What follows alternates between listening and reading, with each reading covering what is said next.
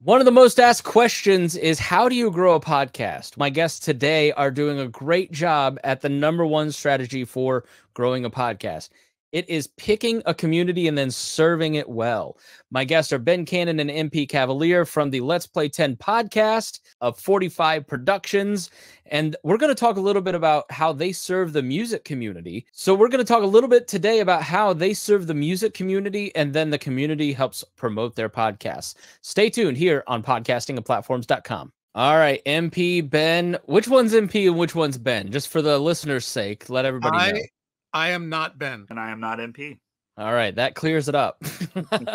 so, why don't you guys tell me a little bit about Let's Play 10? What is the podcast?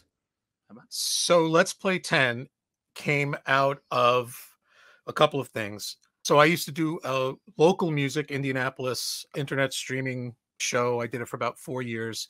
It was strictly Indianapolis music and some regional stuff and we did like 160 shows in four years and then we decided mission accomplished and we stopped doing it and that was in 2017 and during the pandemic i started getting a little bit antsy about a lot of things uh, the increased isolation the possibility of sudden death and the lack of new music.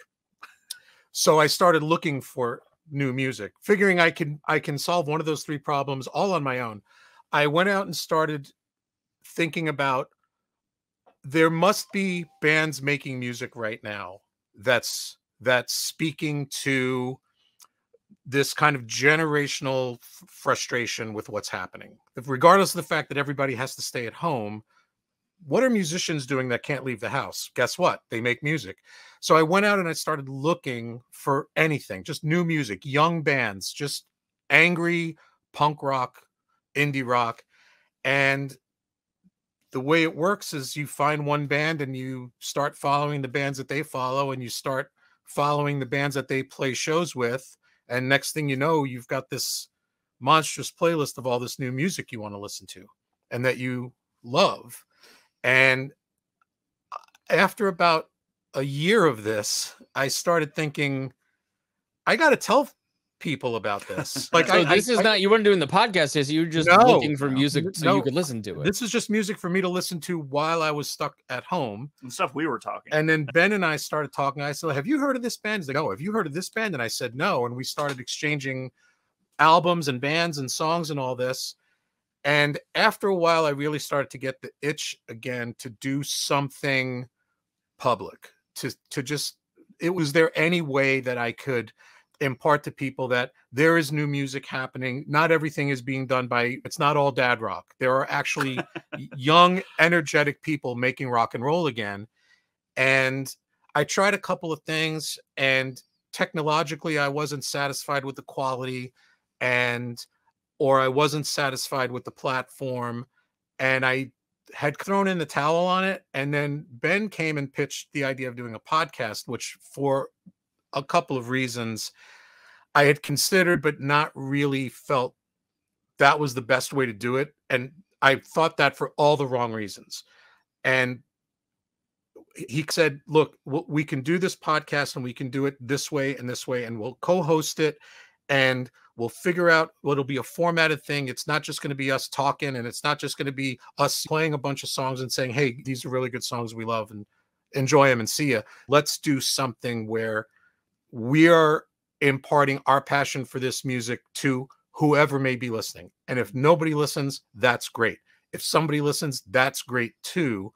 And we virtually whiteboarded out a format for this podcast and then started tweaking it as we went.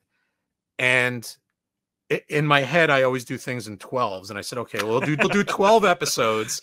And the last time I said, we'll do 12 episodes, we did 160 episodes. right. I said, okay, let's do a season. Let's do 12 shows and let's see how it goes. Let's see if we get any engagement. Let's see if one band responds to what we're doing, mission accomplished. And let's keep going and let's keep doing it. But the most important thing is that there has to be, we have to go out and find all this music. Like nobody's handing it to us. right. Right. We have to go out and get it. And I think that's the thing that keeps the podcast going, that keeps Let's Play 10 going, is that joy that both of us get of discovering discovering you know those 10 new songs every two weeks And we also we really take a lot of pride in trying to find out more about the artists. So if you listen to the podcast, like most of the songs, singles that we're promoting and stuff for these artists, and these artists are from all over the world. They're doing amazing things. They're making differences in their communities, but we're trying to figure out more about them. And that's a challenge sometimes. Like we have artists that we find a plethora of stuff. We Mm. find that they've been working with other bands that we know. They've they're doing other things outside of their music. And then there's also the side where we find a band they got nothing. and we're like, that's cool. I love it. It's very punk rock. Like w- we're gonna promote it anyways. yeah we know? just make and, stuff up and We- if the band and if the band does hear our podcast because we tag everybody, we try to get everyone involved. We're like, let us know. Tell us who you guys are. Like we'll Yeah. share the info. But I think it's that. It's telling the story behind these artists and who they are and why we love the music. But we want to tell their story too. And that's probably the real heart, I think, of why we get so excited about it. Or if we don't do it for a couple weeks because of family, holidays, whatever, we get this itch of, man, I want to get back in the studio and put out another episode and see what's out there and who's doing what. So it's and it's all local musicians because It is- no, no, no, it is oh, not. Okay, So- all right. I was gonna say I was like because that's it was like my main question is like the last one that I listened to it was two. I have two hours left. I think I'm like 30 minutes into it. and There's 18 tracks, and I'm like, that's a l- I lot love- of local music. I, I love how we were both just absolutely horrified Horrified. at the idea of doing a local music show. Yeah. No, with all due respect to many, many Very good. fine musicians and fine bands and fine artists that live in Indianapolis and serve Indianapolis and perform and peddle their wares in Indianapolis. No, Let's Play 10 is a global Yeah. indie rock DIY small label Yeah. Enterprise. And it does include Indianapolis artists or Yeah. Indiana based artists. Right. We don't, it's not all good mm-hmm. music's good music. That's our big motto is we'll listen to anything. And if we love it, we'll put it on the show. For us though, too, this is not monetized. We actually buy the music or if we can't buy the music because they're only on streaming, we'll buy merch. And we do that to support the artists to give back. But we do this show to support them. Like one of the niches I've always wanted for this show to really fall into is for touring artists. Like we make this because we're nerdy, passionate musicians ourselves. And we would love for touring bands when they're driving five, six hours to the next show to listen to our podcast and Sure. discover new music themselves. Because the only community only gets better if we can support one another. So the structure of it, the one that I listened to, you played several songs, and I was like, when are they gonna talk? and then you guys had a great conversation that was fun and having fun with each other and talking about the music. Is that generally the? I, I think I listened to a special episode with a lot more music than normal. you did. You did. Um, oh, you listened to The last episode. You listened to yeah, episode Charlie is tapping his watch. Charlie is tapping his watch, which Yeah. is uh, which was- amazing title. so we knew yeah we knew that we were going to be off for a month because some we had some stuff uh going on outside Yep. so we said okay it, and there could not be a worse time to take time off than october because in october it's just the pre-christmas blow up everybody is putting their stuff out there before Thanksgiving. a lot of good music. a lot of great music and Mm. we, we had at least three shows worth of new stuff so we said okay we're not going to be able to do the show for a month so let's do a double we'll double up on the music and we'll cut the chatter in half but usually what happens is we always start the show with two songs and then we chat about those two and then we chat about a topic or we free we just wing it. Sometimes we we have a topic or two that we want to talk about and then we talk about everything other than that thing. We'll just get the wild hair gets It's where true, it gets it's and true, we just yeah. oh let's be silly and talk about something stupid and we'll do that and then we play and then we play four songs and we talk about those four and then we play the next four and we talk about those four. So there's your 10 that's the let's play 10 and then we have at the end of the every episode we have a segment called plus ones. So the plus ones would be one song each of and the songs were released prior to our little new music window which is anywhere between two and four weeks before we tape so anything that came out before then Can be a that that we just suddenly discovered oh this is such a great song but oh it came out six months ago or eight months ago so we it becomes a plus one And then we have uh, we at one point we said 12 songs isn't enough for a show called Let's Play 10. So let's add a 13th. So now we have a, bonus song at the Yeah. very tail end of the episode after we sign off. We And- have a theme song and then we have bonus And content. the only reason we have the bonus song is because we discover some of these artists drop albums and you get the single that you're gonna play in your your five, but then you're like, man, there's some really other great deep tracks. And I grew up being a B-sides kid. Like I love my B-sides.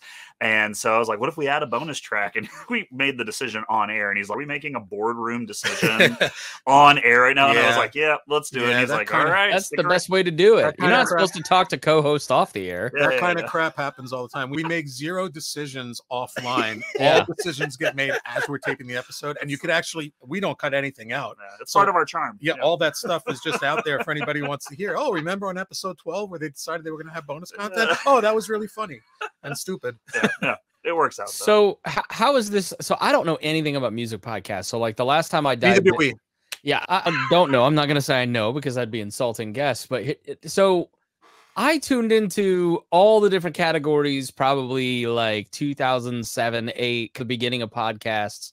And there were a lot of great music podcasts that just like there was a covers podcast. I don't know if that one's still around. That's anybody that's podcasting in 06 is like probably huge now. But what is the state of music podcasting? Because I hear you're playing music on podcasts, and that makes my uh, legal side pucker because Hmm.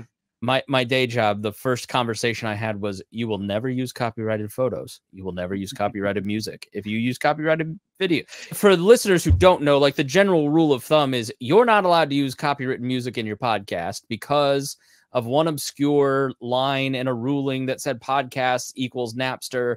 And so everybody's afraid to use copywritten music. Now they have to catch you first. But that's why you go find something like Pond 5 or podcast music to do Yeah. all your music, all that stuff, right? So how do music podcasts like yours get the rights to play music and you mentioned buying merch, like you get permission, like I feel how do you like- handle that with artists? I I feel like lawyers should be like whispering in my ear now. don't incriminate yourself for the trial. But the thing Well- is, really, people get all bent out of shape, and Gordon. Firemark sells you some legal But- forms, and like, you Yeah, have to yeah, yeah, get yeah. caught, and then they'll just send you a cease and desist, and then you say, "Oh, I'm sorry, I'll take that down." So it's- here's how this sweat he- but- yeah, here's here's here's the answer. I'm So- curious if ours is separate. I'm so he- here's the separate. answer. So you're right in a sense. What you said is not incorrect, but like with everything else in the world, there's gray area. But we don't even fall into that gray area because the real danger, the real legalism comes from licensed music, which is why the uh, licensing companies of the world make a big deal about those rules because they need to sell licenses. But if the music isn't licensed and the copyright is owned by the artist or by the artist's label or is licensed exclusively from the artist to their little boutique label, all we need to do is ask permission. Because if the song isn't licensed, that means that there's no licensing company to sue us. So that's one. Two, the vast majority, and I 90 out of 100 artists that we play have fewer than 10,000 followers on Spotify or fewer than 5,000 followers on social media. It would be very counterproductive for anyone involved to say these guys played our their this song on that podcast so we need to sue them.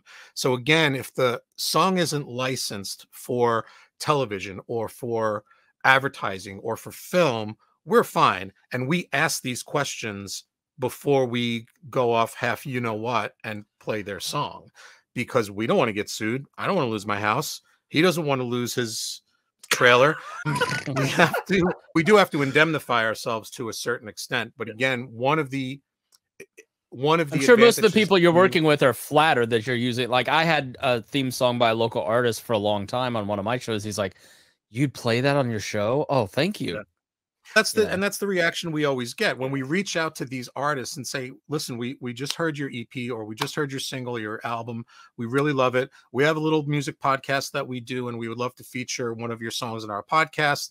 First of all, is that cool with you? Here's the link to the podcast so you can listen to an episode and make sure that we fit your we're we have the right vibe for you. We don't want to we don't want to uh, offend anybody, and we've never gotten a no Yeah. and we've never gotten a well we did sign a licensing agreement with Chuck's licensing in LA because they think that they're going to get our song into a movie. So maybe you better contact them.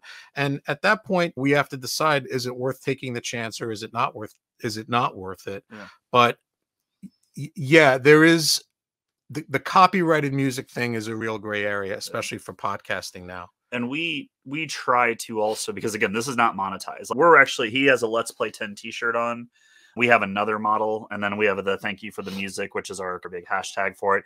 But these shirts that sell on 45, if we sell any, we take the profit from those shirts and we roll that back into buying music of the artists we're having on the shows. Purchasing the music or merch really does help too, letting the artists know, hey, we are really just promoting you we do this because we love it. If that's not something you want, that's fine.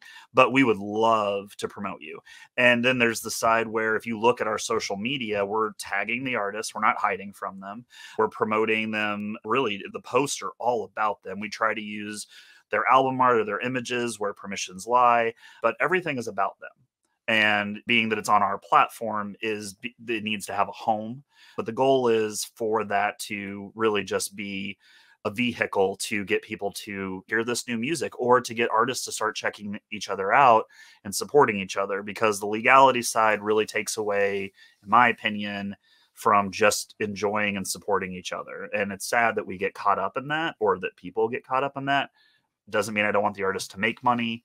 I understand that side but i do feel like it sadly it's limiting. So we try to work within what we can. And again, we try to ask permission. We try just to support. And if they say no, okay. Yeah. And that's not to say that anyone who's watching or listening to this should start a podcast where they're playing right. all Beatles, Beyonce, and Ed Sheeran songs because you will get sued. Yeah. And you will get shut down and you will pay a ridiculous fine, which you won't be able to afford as long as you live. But I I, I think that there's a certain safety net in doing what we do, the kind of music that we do, the kinds of artists that we do, because we are latching on to the latching on is bad. We are playing artists We're stage are sucking stage. off the industry. Right. The, the whole one. Let me clean well, that up. Let's be honest. We're sucking off the indie music teat right now. and we're making millions. Yeah, right. Look at this place. Yeah. No, we where are we? I think we pride nobody nobody knows. We we pride ourselves on being supportive of artists who still need the support. Yeah. And there have been times where we where we've come across artists where one of us says, I'm gonna put this in my playlist, or what do you think of this song? And we'll say, I don't know. This artist has like a million and a half followers on Instagram, has a licensing agreement with Universal Music, mm-hmm. or oh, I think I just heard their song in a TV show the other night. So maybe we better pull back and and find do a little bit more digging. Plus, that kind of yeah it breaks the promise to the listener, exactly. which is we're going to help you find stuff you're not going to hear anywhere else. Exactly. exactly. But even at that, though, like if you think about how how many platforms there are with streaming out there, like even if an artist is in their own regards their goals are being met and they're starting to take off get some streams some follows a million is still a drop in a bucket. It's something to shy away from by any means but the chances are is there's still millions of other people out there that still don't know yeah. who this artist is. And so in reality again we're just trying to support. And we've had artists that have been on the higher end that have said thank you. Appreciate yeah. it. Because so, they probably realize that there's still a large audience out there that hasn't experienced their band or heard their music yet. But the vast majority of music that we're doing, the bands are self-releasing. Mm-hmm. They're, they're, they may be recording in a professional studio and they may have a manager and they may have people, but at the end of the day, they're recording their music, they're mastering their music, and they're dropping it themselves because you can do that now. You don't need distribution anymore. Right. You don't need a label anymore. You have all these services and if they are signed with a small boutique label early on, we recognize that. Yes. So yes. we reached out to the small boutique labels and we say, hey, we really love these bands on your label.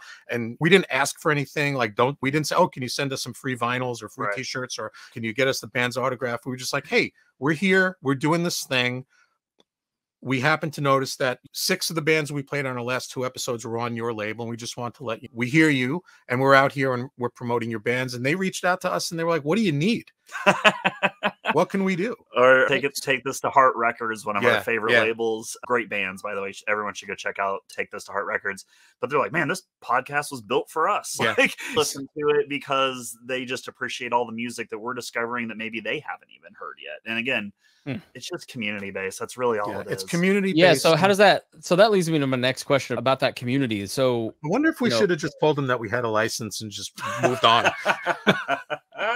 how how does that community help grow the podcast? What have you seen over the last year that has helped you get to different levels? What has worked in promoting your show?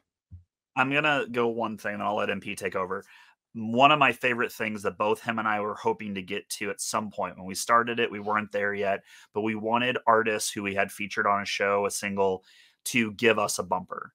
Hmm. And I love it because it's our way of also saying thank you again. So we're getting artists from all over the world who send us bumpers when we ask and it's just them saying hey i'm so and so and here let's play 10 or i'm so and so from this band or you get the whole band being like hey we're blah blah blah let's play 10 and that'll kick off a lot of our shows now and we love that because it's just one more way that we are again trying to reinforce that we're all in this together that's my favorite part to answer your question but i'll let MP do the rest That's my favorite part too. No, seriously. was- yeah Yeah. To be able to for, for for a podcast that's only a year and a half in, to be able to say that we've got this huge library of bumpers from all of these bands and all these artists and people from labels and people from zines and people from other podcasts. You you have to do one by the way. Sure. People from other podcasts, that would be awesome just like picking up People their go, phone and- yeah, that's okay. Just No. picking up their phone and going, "Hey, it's insert name here from the band Scoobity Doo, and let's play 10." That to me, that's the best engagement you can get. I don't need I don't need 10 million listeners. I just need the people who we're doing the show for to acknowledge that we're doing the show. And I, I see. So a key of it seconds- is, yeah. So a key of it is that person like feeling they're a part. Of, hey, they hear their voice Exactly on your right. podcast feed. That's yeah, and that- exactly it- right. it- and that's why helps we them feel say thank invested. you for the music sorry i didn't mean to talk over you I apologize no, you're good. So th- that's why we say thank you for the music. It's why we have shirts and we hashtag that because it's we just want to show appreciation. But I think even the pinnacle of having the bumper conversation is we actually had a younger listener do our bumper recently, which I'm like in my head, I'm like, that's even cooler because now the bands that listen go, man, they're getting a younger audience also Yeah. listening to this show and discovering our music. To me, that's the thing. There is no boundaries here. We want everyone to be a part if they want to be a part. So how how what, what kind of social presence do you do to market the show? What does your marketing look like? it's very punk. like our t-shirts literally say this is not a Let's Play 10 podcast t-shirt.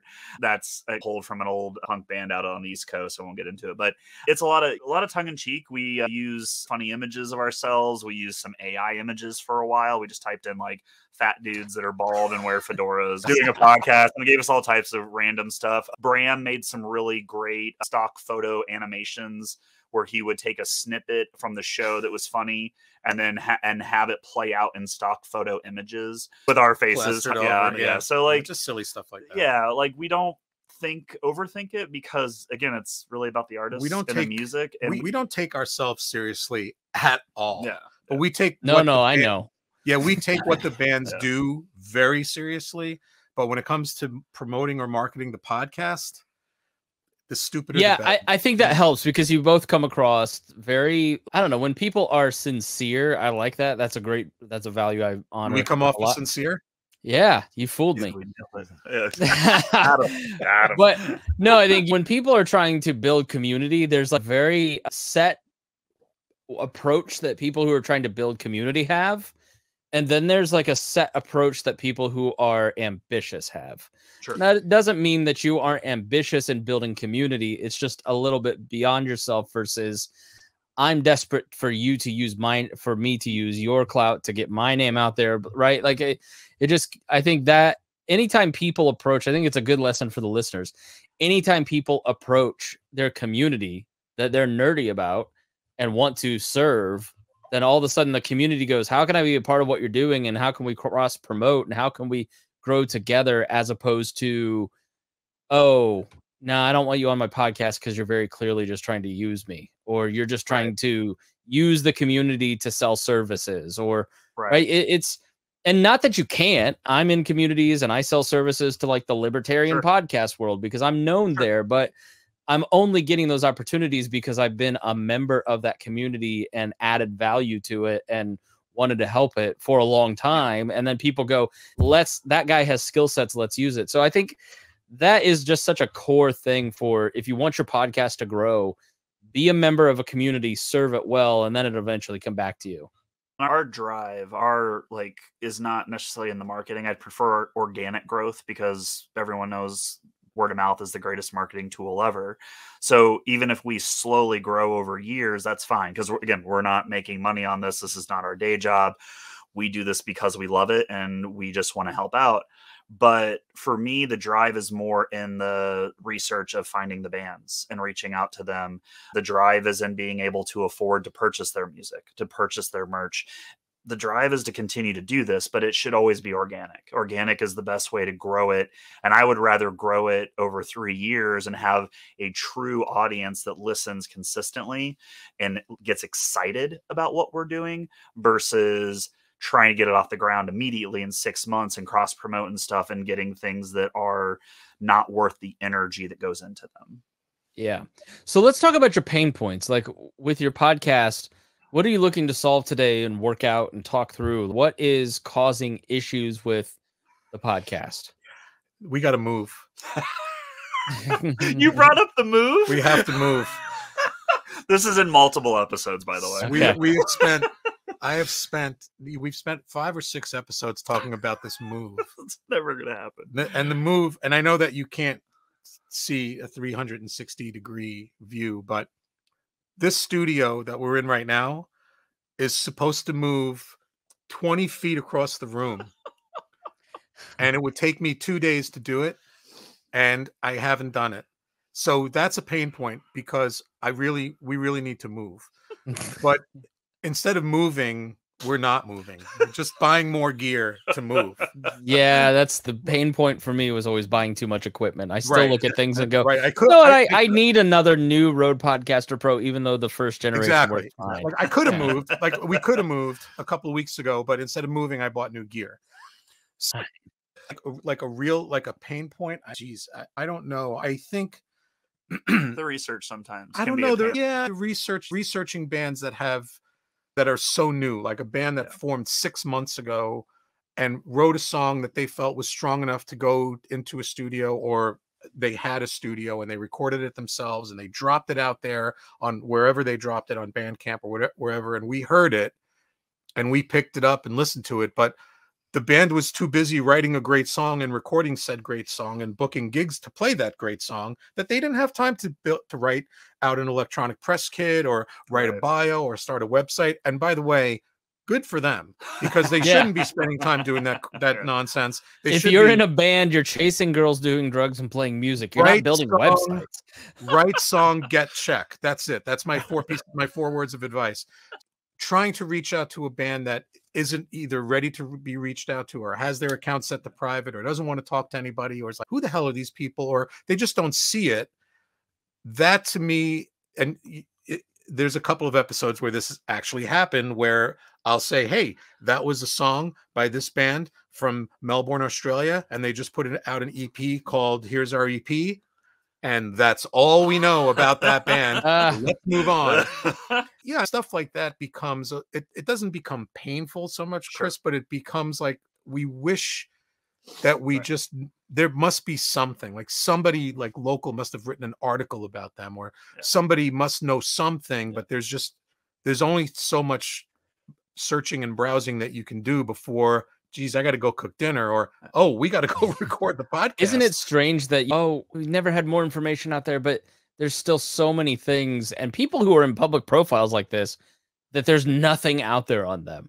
it's Like, actually it- a trend that we've been seeing over the last couple of months and we've actually had a couple of conversations about this both on the podcast and privately that we're starting to see this weird little trend bump up a little bit where like i said bands are now that the pandemic is over and bands can go out and get in the bus or get in the van and go play shows out of town they're spending time doing the things that bands should be doing learning how to play Mhm. learning how to sound good together learning how to write great songs together learning how to be a band in a tight space and learning how to record and play that music in front of people instead of spending hours and hours perfecting that Instagram reel or spending an hours and hours designing a pretty website that no one's ever really going to look at except these two schmucks. I, I guess that makes sense because I've always equated like starting a podcast to like starting a band. Like you have to, there's some chemistry to it. There's a lot of effort. There's a lot of practice, a lot of back and forth. You're doing it in public, and it's Mhm. going to take a long time for you to make any money at it, right? But It's a I, I business. Yeah, I would say It is a family. It's a that that sounds Yeah. counterintuitive that like a band wouldn't want to do marketing so they could get more gigs and get listeners out to their thing but how many podcasters just go i'm just going to do this podcast quietly in my microphone and just put it on apple You'd be if surprised. that it's You'd- it's a be- huge tons it's amazing You'd be it's shit tons, right? You'd be amazed. And I was amazed because when we started this, my brain working the way my brain works, like first thing I need to know is how many, and that's why I was resistant to doing it. Because I said uh, there must be 10,000 people doing what you're what Ben was suggesting that we do. And it turns out that there was. There were a lot of people doing it. And then when I thought about it, I said that makes me just want to do it more because A, there can't be enough voices promoting this music. There's not you cannot overstate how great this music is. So what's another two guys promoting that band? And now we have something to strive for. We can listen to these other podcasters and hear what they're doing and say, "Oh, we can we might be able to actually do it a little better than than they do it." And I think some other podcasts that I've listened to, because we listen to other music podcasts just to keep our finger on the pulse, for lack of a better term. And I've heard Also some, imposter syndrome. and Yeah, I've heard some, right. yeah, yeah. and how I've heard much some better are they that- than me i get it that yeah. are well, and they're bigger podcasts, respectfully, and they do ads, and we're never going to do that. But like, they're not good podcasts. They're just they're not well structured, or they're do a disservice to the artist. They the way they just focus on the songs, and uh, they don't really talk about the heart behind it or Love the you. I individuals. love you right now. Yeah. and that's what I was like, okay, this has something to it. Like we're offering something in a very different way, and we take a lot of pride in that. We've restructured the show a few a couple times, of times, yeah. but we've done it because we're very passionate about making sure that we are driving this the way that it should be driven. Yeah, we're not comfortable. The thing, the things that make a great podcast, obviously, you got to have great and unique content. You have to have you have to have a format that people understand that can follow. Because if it's just two guys in front of a mic talking about whatever comes into their heads, what ends up happening is you get a lot of dead air. You get a lot of very uncomfortable, awkward conversation. And then, oh, we're gonna fill we're gonna fill this gap with music, and then they put the music in later, or Mm. or they're doing it live like we do, and technical things happen or or to, for me the absolute worst possible thing is that it sounds like crap the mics aren't good or they're not positioned right or there's no post production going on. They just they record it live into their laptop microphone and they stick it out there and that's my podcast. And to me something to strive for show after show episode after episode is wow that episode was really good. It was really strong. Obviously the music speaks for itself but all the stuff in between it's like jazz you have to listen to the notes they're not playing. Like the conversation is it does it flow? Ben and i have known each other for a long time so that was never going to be an issue. The quality of the show sometimes we flub stuff. Do we edit that? Do we make a joke about it and leave it do we cover it up with something stu- even stupider than what we did in real time? Can we make it sound better than it sounded like last week? I drive him crazy. I do this to him every episode. It's like hey i just got a new piece of equipment or hey i just uh, read an article about how we can tweak the eqs and the post processing on the microphones to make it Yeah. sound better and he says dude Who the show sounds amazing. Yeah, it some sounded rest. really good. Yeah, He'll, i'll text him this and he'll say dude it's four o'clock in the morning. Go to bed. Yeah. Yeah, I hope an artist reaches out to him one day and like, man, did you tweak the EQs between episode 30 and episode 31? Because best day of my life that'll be the best day of my life he would So- be on the moon. So if I you were to get, so my last question to you both, because you have a good chemistry with each other, you have everything well balanced. It seems. What was the process to get there? What advice would you give to somebody that's starting a podcast, not hmm. just a music podcast, but what are some steps that you would recommend that maybe, of course, buy a microphone, do this, that, right? this is easy Go ahead. First of all, so three things. Yes, I would suggest, and I know that there there's this thing out there that's like, anybody can podcast. You got it. You got an iPhone. You got a phone. You can do a podcast. I'm like, that's actually true, Yeah. and it's possible, but it doesn't. It just you have to set yourself apart. You have to go for the best quality that you can get. And I know that it's. I know that it can be uh, cost prohibitive to some folks who really need to have a voice for the demon monkeys in their head and say what they have to say and and they all they have is this phone. So yes by all means go ahead. But i think three things. I- think you have to have decent gear. And i and i don't mean hundreds of thousands of dollars of gear. You don't have to be uh, npr or chris spangle. You just need a, a good decent microphone and and you need content that you love and do it with someone that you love.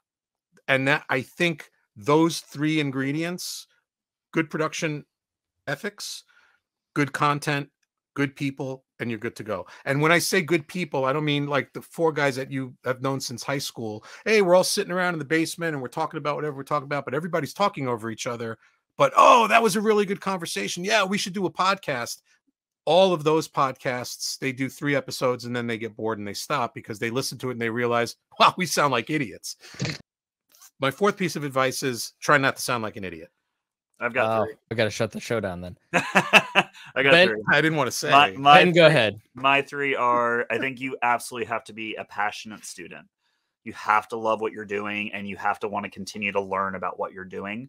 I think two is don't fall into stereotypes. Mm. I think too many people get caught up in what they're being told to do. They research what good podcasting is, how to be successful. But I think that if you're passionate about something, you can discover those things as you go along, what works for you, for your listenership, for your community. And the third is I think it's really important to be honest.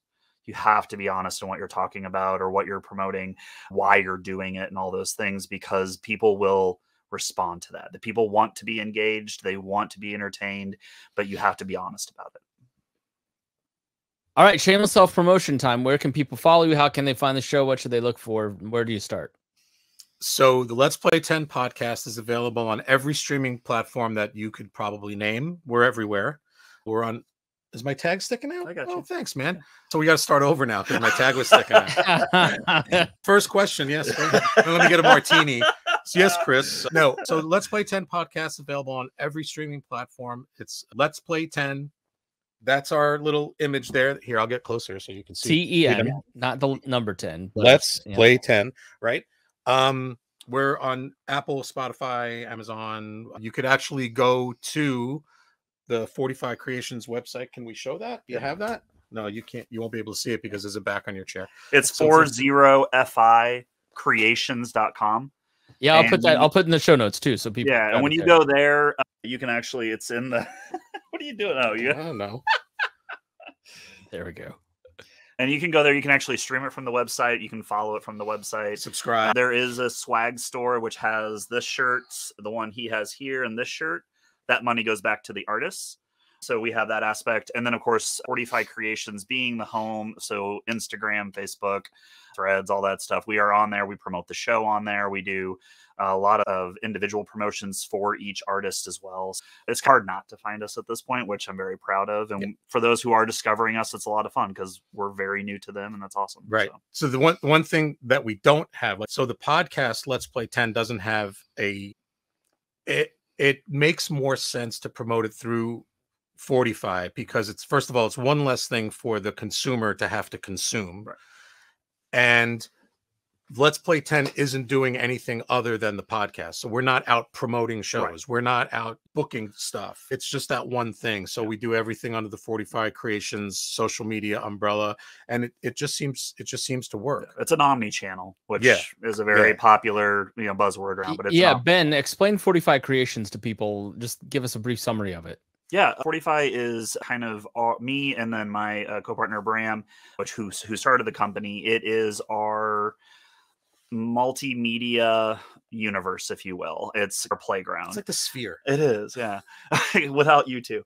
Uh-huh. But it's it has services like video production, animation, poster design. Bram does a lot of that stuff and he's really good at it. Does website building, very music focused, but he works within other inter- industries, entrepreneurs. The guy even does wedding photos and stuff like that too. Like he's just very talented. And I'm the other side of the brain where we're doing uh, DIY touring in the UK and the US, which is a whole nother monster.